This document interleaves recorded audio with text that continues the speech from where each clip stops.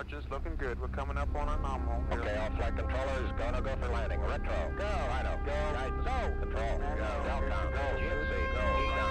Surgeon. Go. Go for landing. Well, hey guys, Dave Anderson here, Helicool's Helipad. Today, I really want to talk about panels and insulation.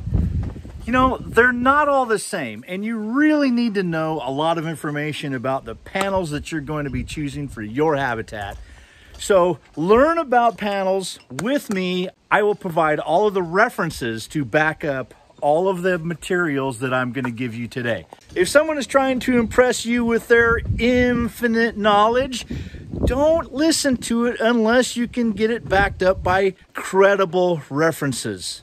Don't just hum hum hum. Oh yeah, that's delicious. Thank you, Mr. Expert. I run into a lot of so-called experts in my field of work, and they weren't experts at all. They were expert BSers that could convince you and weave a story really well, but they didn't really know what they were talking about.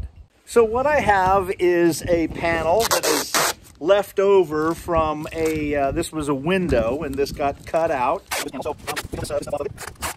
Okay, so you got nice pristine surface. That's the white side. This is the gray side. Um, and there is an extrusion inside of here. So this is um, the Globe Trekker extrusion that comes with the panels. Each of these are 24 inches on center.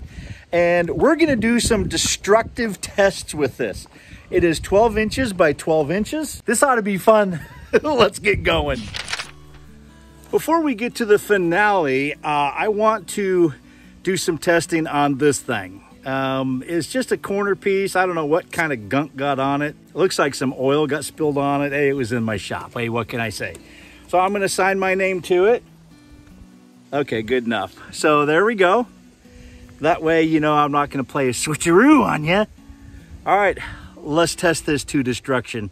Shouldn't be that hard, but let's see what happens.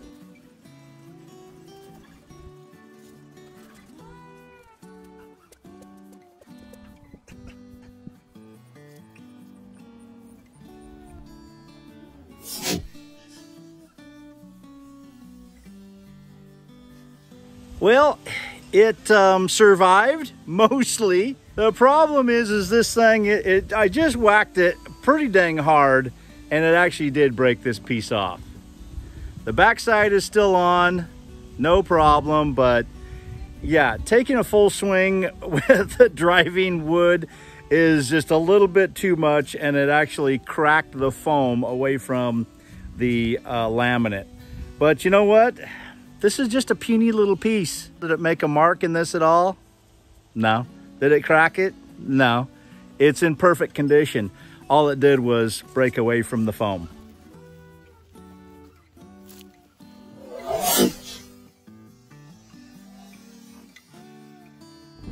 And test number two did the exact same thing. Just way too much stress. It blew out this part here. I hit it really hard, as hard as I could. You know, someone who is looking for a panel set uh, contacted me on YouTube and they said, look, you know, I asked for a sample from a company in Germany and they said it was the bear sandwich, man. A bear can't even bite through this sandwich. And they sent him a sample and the thing arrived in the mail delaminated. okay, now he thought that possibly somebody had dropped it and it delaminated just because of the drop. Well, that is pretty poor quality. And you know what? I really don't think that our panels are going to delaminate just because of that. All right, there you go.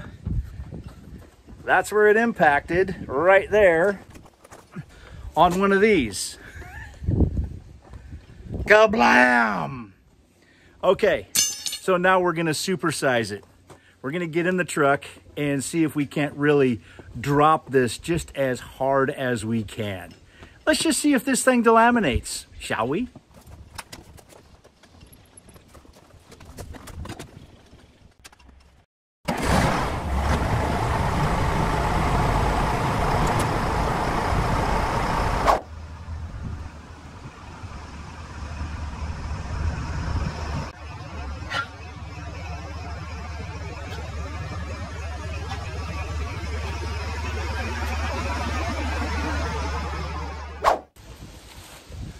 Right, guys, so this was at 40 miles an hour. Can you see the scrapes? Um, I think that's just road rash. Um, there's a little bit of road rash on this side, not much, a few scratches. Um, a few, you know, pretty good hits on this side. But you know what? It's all together. I think that was a good test, 40 miles an hour. Can we say that we could drop this without it coming apart? I think I would go with Globe Trekker panels. Now I know what you might be thinking. You're like, Dave, that wasn't the same panel that you showed us. You know, I know because I saw that it had a aluminum piece of extrusion in it. Well, I had a change of plans. I want to do something just a little bit more, hmm. Now then, this is a nine millimeter. It is a solid copper round. Um, so let's just see how the panel fares against a nine millimeter.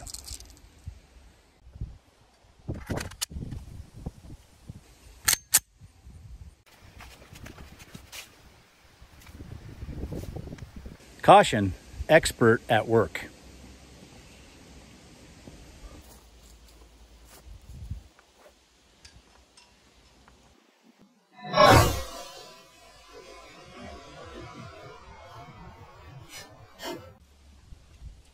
Well, I have to say, that's not too bad. It all stayed in one piece, didn't come apart.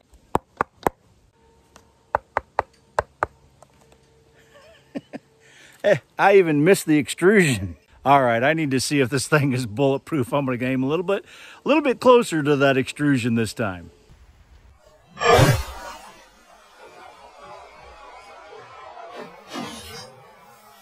Well, you guys are not going to believe it. Maybe you will. This panel is bulletproof. it is ballistic. Ballistic because it is bulletproof. All right. Right there. It stopped a nine millimeter bullet. that is awesome. It's not delaminated. Hey, military, you want to get some awesome stuff that is bulletproof? Come see us. We'll hook you up. The panel seems to be tougher than a 9 millimeter, so it's time to up the game. So this should do some major damage to that panel. Here we go.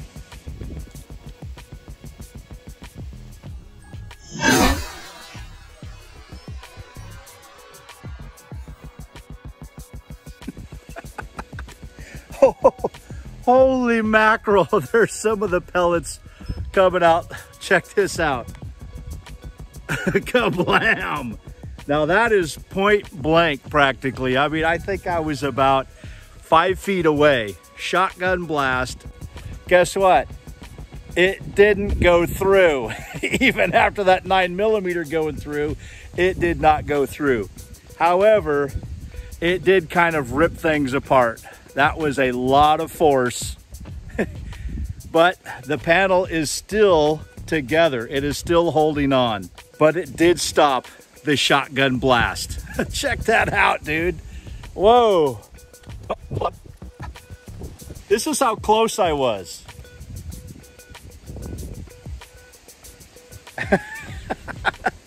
it didn't even have a chance to get away. That's how close I was literally five feet away. Kaboom. I can't believe that. that is so awesome. Check down the extrusion. It bent it all the way in. You can't even see down it anymore, just barely. It just mashed it all in. And that's after two nine millimeter rounds right in this same spot. Well, that was still a lot of fun. but you know what? We're not done. I'm going to do part two next time, and we're really going to delve into the different properties of the insulation and all of the things that Globe Trekker has thought about when it comes to the selections that they've made.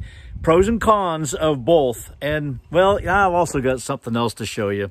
So this is still floating away ever since June. No water penetration in this. And I'll bet you if I opened it up, I'm not going to get any smell either. I know you don't have smell-o-vision out there, but not a single scent. Look at that thing wanting to float right up out of there. You get back in there.